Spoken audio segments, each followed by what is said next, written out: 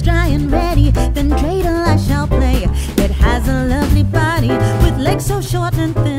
When when it is so tired, it drops in the